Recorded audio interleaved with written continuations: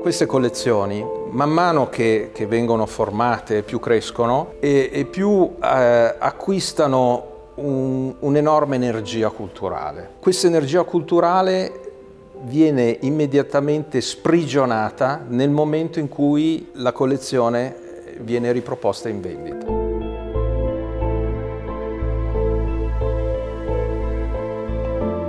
Stiamo avvicinando al prossimo appuntamento dedicato alla numismatica e alla sua storia, in collaborazione tra Cambi Casa d'Aste e Crippa Numismatica. L'appuntamento eh, sarà l'8 e il 9 novembre. Ho visto due bellissimi cataloghi, molto diversi tra di loro. Ci vuoi raccontare tu qualcosa in particolare? Saranno due aste e infatti durerà due giorni l'appuntamento. La prima asta durerà un giorno e mezzo la seconda asta poche ore del pomeriggio. Come vedi anche questa volta abbiamo preparato due cataloghi e abbiamo pensato eh, per le copertine di eh, realizzare due soggetti diversi proprio immaginando e ricordando i due collezionisti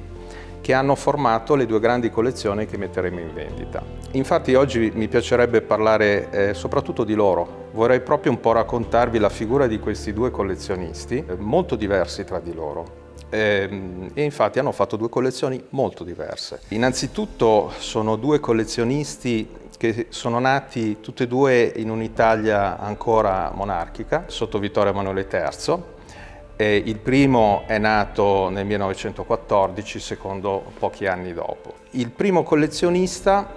ha una zia nata nell'Ottocento, figura che per noi è una grandissima rarità perché è una collezionista di monete. Eh, purtroppo nel nostro settore, il nostro settore è molto maschile, ci sono eh, pochissimi esempi di donne che collezionano monete. Eh, quindi questa zia colleziona monete e regala al nipote quattordicenne i, i primi volumi usciti del Corpus Numorum Italicorum eh, opera pubblicata dallo stesso re, Vittorio Emanuele III, nell'arco di un trentennio, dal 1910 al 1943, e, e, e quest'opera è ideata dal re, ehm, proprio crea una squadra dei migliori studiosi dell'epoca, la fa pubblicare alla, a Milano alla Aurico Epli, alla casa editrice, ed è un'opera tra l'altro la, la, cui vendita ha, ha, è, de, è destinata a, a, scopi di beneficenza e infatti l'intero ricavato viene poi devoluto all'allora Istituto degli Orfani eh, degli Impiegati Civili dello Stato e alla Società Numismatica Italiana. In quest'opera tracciano quelle che sono le linee di come deve essere impostata una collezione di monete medievali. Praticamente questi studiosi elencano eh, tutte le monete eh, raccolte dallo stesso re, più tutte le altre conosciute nei vari musei e collezioni private e eh, la linea che viene data è una linea cronologica territoriale, per cui il Corpus Numorium Italicorum pubblica in ogni volume ogni singola regione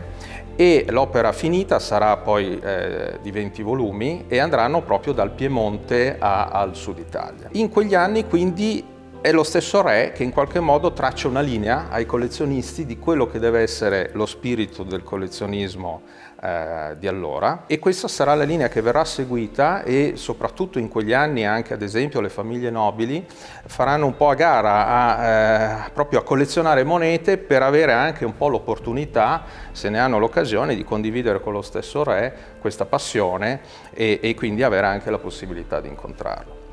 Tornando al nostro ragazzo giovane collezionista, inizia proprio in questo contesto culturale a, a formare la sua collezione esattamente seguendo questi stessi principi. Inizia a, a raccogliere in quegli anni, eh, abbiamo i primi acquisti soprattutto negli anni 30-40, questa persona ha avuto la fortuna di avere anche una vita molto lunga e quindi la collezione andrà avanti per ben 70 anni e alla fine eh, sarà una collezione formata da quasi 3.000 monete e che ver veramente illustrano un po' eh, diciamo tutto il, il, il, cognato in Italia dalla, eh, dal periodo alto medievale fino all'Ottocento. Abbiamo deciso anche di, nel rispetto del collezionista di mantenere l'ordine da lui stabilito, quindi le monete si susseguono nell'asta in ordine geografico e cronologico.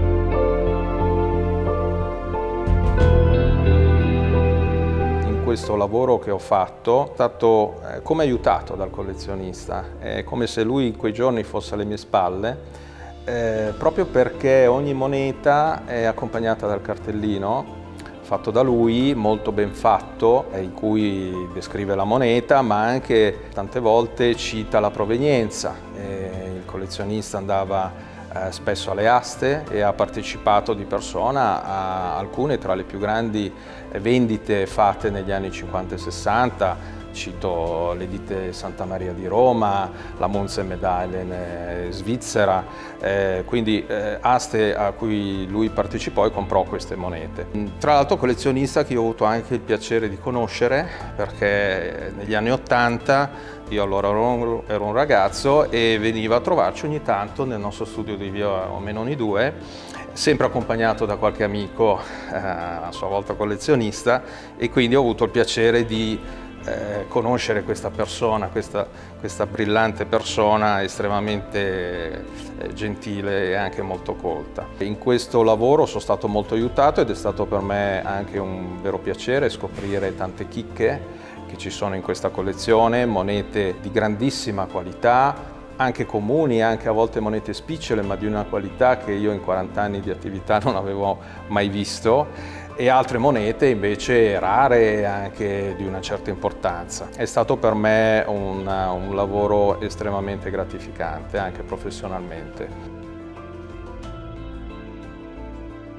Nel momento in cui abbiamo deciso di pensare a come rappresentare questa collezione con la copertina del catalogo, l'idea che ci è venuta insomma di ricreare un po' l'idea dello studio del collezionista e quindi insomma abbiamo immaginato una sera in cui il collezionista ha finito di classificare le, le, gli ultimi suoi acquisti col Corpus Numorum Italicorum eh, lasciasseli gli occhiali e andasse a dormire dopo una serata ricca di soddisfazioni numismatiche. Il secondo collezionista invece eh, ha una storia parallela eh, ma molto diversa. Nasce, come, dico, come dicevo prima, negli stessi anni. Viene da una famiglia piemontese, una famiglia seria, sana, eh, grandi lavoratori, quelle famiglie tipiche che vivono nella concretezza, non so come dire. Quindi lui giovane cerca anche a un certo punto di uscire da un contesto forse un po' restrittivo, familiare regionale e prova a fare fortuna, andare a fare fortuna in Brasile però lì insomma non si trova, la gente è molto diversa da quello a cui lui è abituato a che fare, quindi torna nel suo Piemonte e subito nel dopoguerra decide di ehm, creare una piccola azienda meccanica e lavorando sodo come, come, tanti imprenditori in quegli anni capaci sono riusciti ad avere successo, si sono create tantissime anche aziende familiari immediatamente dopo guerra e nello stesso periodo, dopo un breve periodo di collezionismo di francobolli, eh, inizia a interessarsi alle monete e ovviamente inizia a interessarsi alle monete della propria regione, cioè alle monete di, di Casa Savoia. Soprattutto nei primi anni 70 evidentemente con sempre maggiori disponibilità economiche, conosce Mario Ratto, quale è in quegli anni il, il, più grande commerciante del nord Italia, ha sede a Milano allora in, in via Manzoni, e da Ratto eh, acquista eh, quelle che secondo me sono le monete più rappresentative della sua collezione, è tutta la parte della monetazione sabauda dal 1400 fino alla fine del 1700, compra eh, bellissimi esemplari, due tra l'altro molto rari che vengono da un'asta importante, la collezione Curatolo, sempre fatta da Ratto, eh, che era anche una casa d'aste, tra l'altro la, la, la Ratto numismatica, e quindi eh, investe eh, subito cifre importanti in questa parte che crea, eh, a mio modo di vedere, proprio l'ossatura della collezione, quella che soprattutto la caratterizza. Parallelamente va avanti anche con le epoche successive e qui diciamo che acquista soprattutto da eh, quel network di commercianti molto attivi negli anni 60-70 e che partecipavano ogni weekend ai vari convegni commerciali in tutta Italia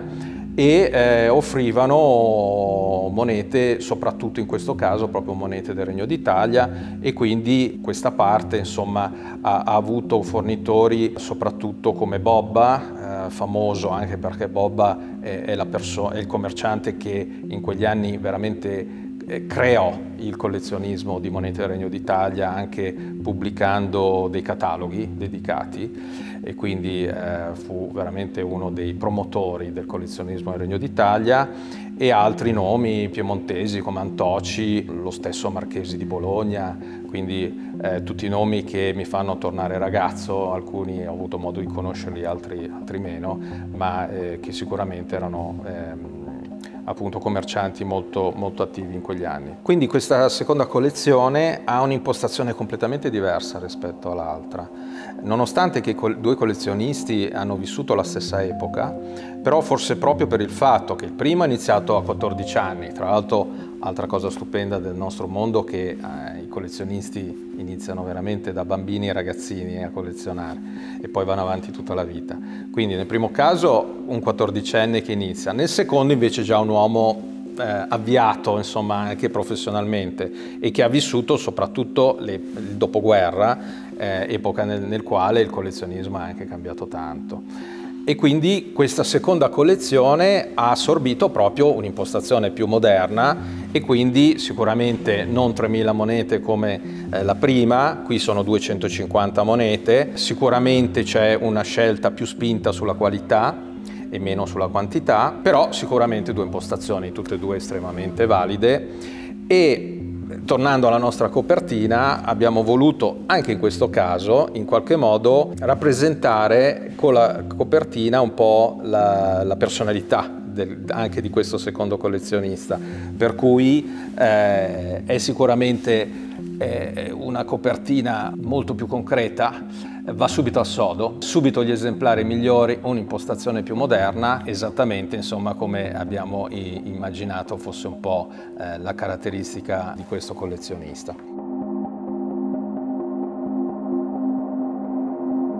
Ultima cosa che, che volevo dire, eh,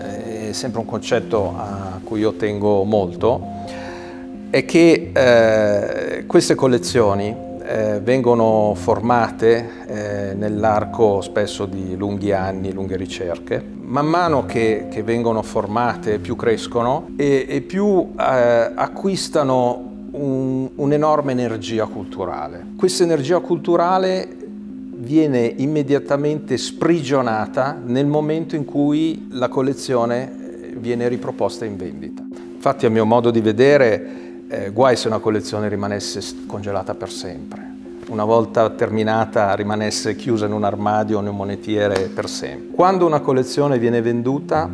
questa energia culturale viene eh, sprigionata, ogni singola moneta va a formare una nuova collezione, va a completare una nuova collezione muove persone, eh, le persone parlano tra di loro, è sempre un evento quando viene venduta una collezione. I collezionisti condividono, poi adesso con i social ancora di più, eh, le loro impressioni, eh, riescono a soddisfare anche spesso grazie all'uscita di una vecchia collezione delle ricerche di anni perché trovano la moneta rara che o non avevano mai visto o che non avevano mai trovato. E quindi è, è assolutamente un momento eh, che ha una, una, valenza culturale enorme nel momento in cui coll due collezioni come queste vengono messe in vendita. E il catalogo per me è fondamentale perché il catalogo è quello strumento che farà sì che questa collezione